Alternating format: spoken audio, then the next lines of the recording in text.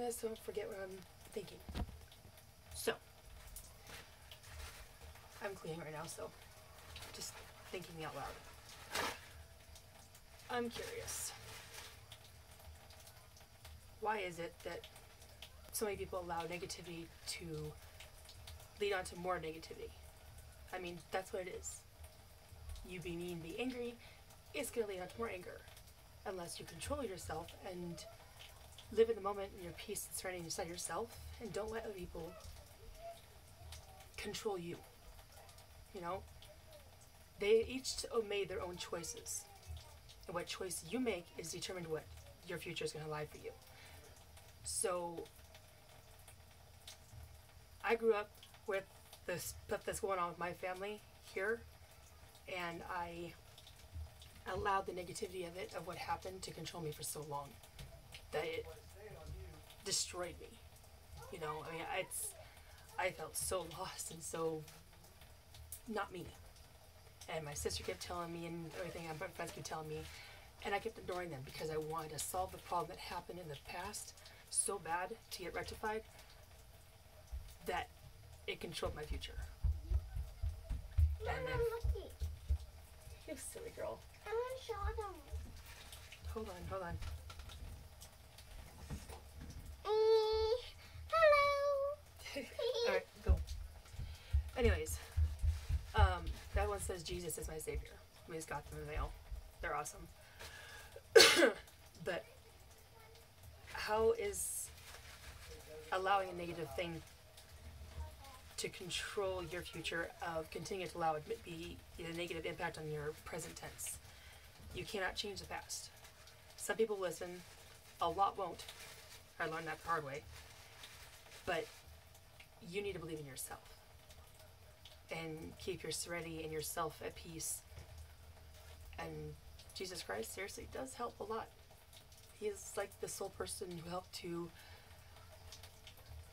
clear a path for me to start new and to put walls up around the negativity so I had a more clean path to walk down. And there were negative instances here and there, but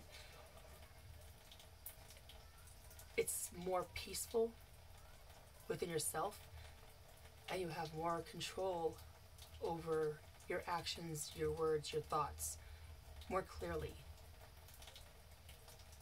So I mean it's negative is not gonna solve negative. But rectifying it the right way the right way is up to you, depending on your circumstances. But be happy to gladly to help people and if I know somebody that can help them, I will navigate them to their people. That's what we're here for. Is to help others learn that it is possible to regain yourself and become more in control of you. Because he's in control. And I'm telling you that from my life experience. And I refuse to let anybody control my views on how I see things and how I partake to things, you know. I'm not a bad person. I am a person who wants to do all I can within boundaries that I know I'm able to go and learn new ways to be able to to make things help things become more how they're supposed to be, you know?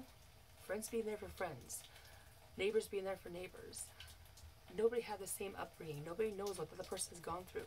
So don't allow your past and your negative past dictate you and navigate you away from a positive future you can have. I don't have very much, but I have enough of what I need. And money is not that. I don't need money to.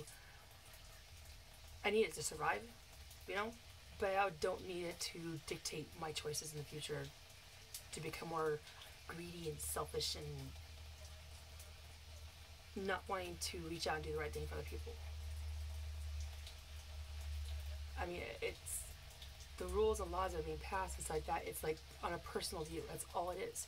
Because the only person who has last say is the person at the top of the chain in your area, and so their past, their their path that they went down is going to dictate what their choice is, whether it's positive or negative for people around them.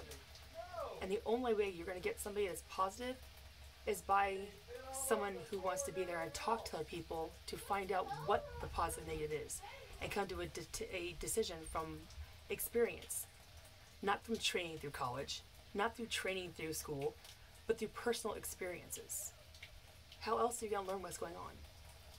So instead of continuously blocking the people out there trying to do the right thing and arguing with them, trying to prove them wrong when you can't, listen to us. We are not here to dictate your choices. We are here to show you with examples of what has happened to so many and continue to happen now because of not being there to open up and hear people. Especially hear the children, the ones that are forcibly going through these systems that are most car- most places are not helping them out. There are some good places. Don't get me wrong. I'm not against all foster placements and adoptions. There are good people out there, and thank the Lord for them. But so many of our kids, regardless of how many it is, are being pushed into these places that are destroying them. And the only way they're going to come out of that is by us uniting together and being there for them. The kids are not our enemy the ones putting them in the placements they're at are. And the lies that they tell about the parents, the people are believing, is pushing the parents to become those wrong people. So many of them fall into that category because they're being pri- they have no way of feeling they're going to win their kids back or anything, that they're pushed into that place that they were falsely accused of in the first place. And so many stay there and get stuck there because they don't have friends there to help back them up and to reassure them that they're not alone. You're not alone. We are here for you.